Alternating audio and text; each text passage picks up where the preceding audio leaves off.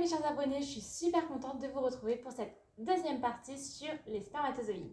On va parler de tout ce qui vient altérer la qualité des spermatozoïdes et des solutions.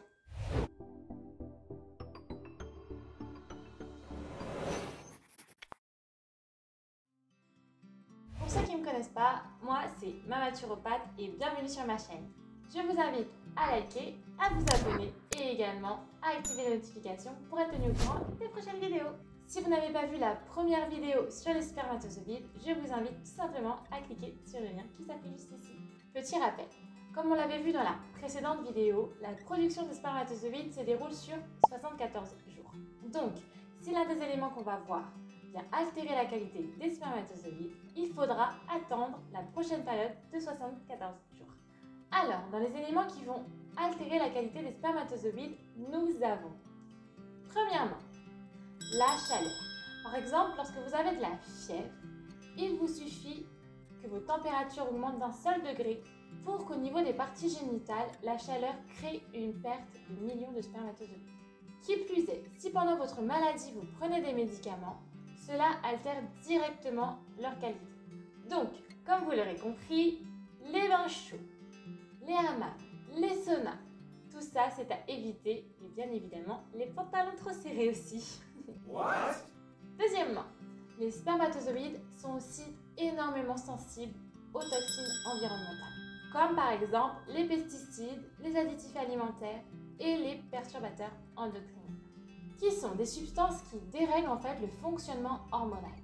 Concrètement, les perturbateurs endocriniens, vous pouvez en trouver dans vos produits d'hygiène.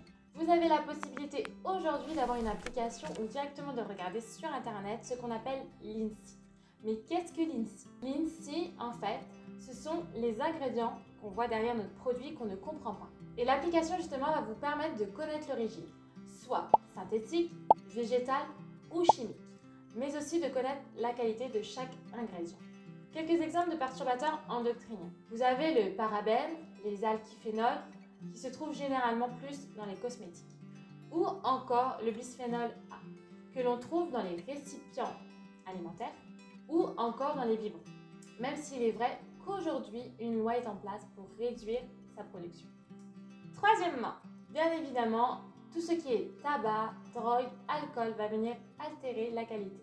Concrètement, la nicotine provoque des inflammations des spermatozoïdes et crée une altération de l'ADN que l'homme transmet.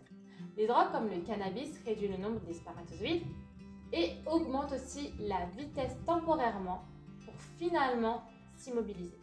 Et l'alcool. L'alcool baisse en fait la qualité des spermatozoïdes et la quantité.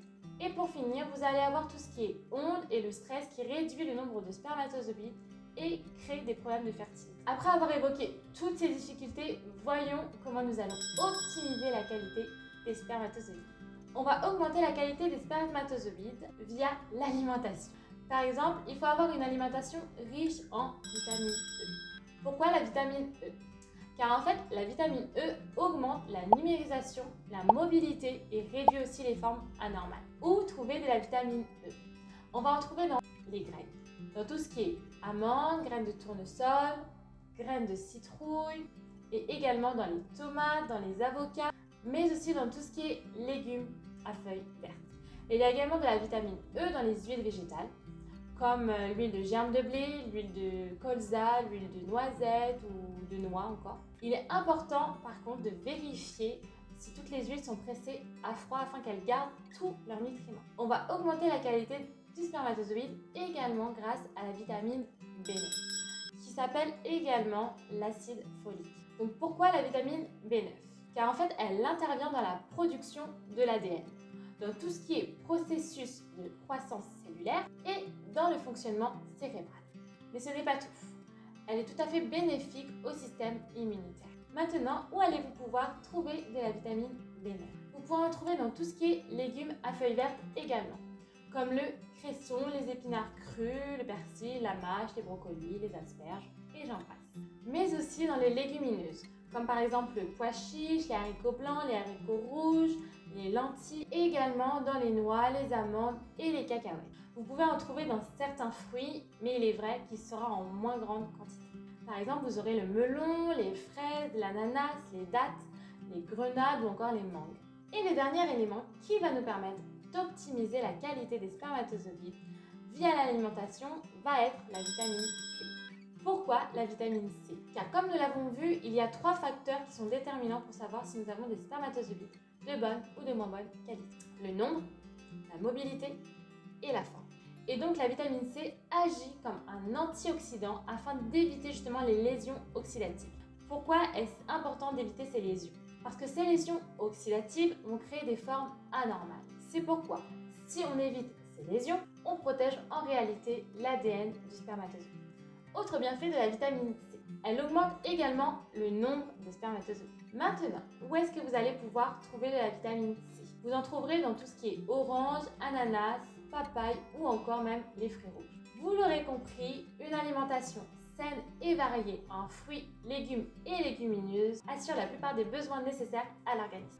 J'ai parlé du stress au début de la vidéo, donc pour les personnes stressées, faire une cure par exemple de magnésium sera votre allié.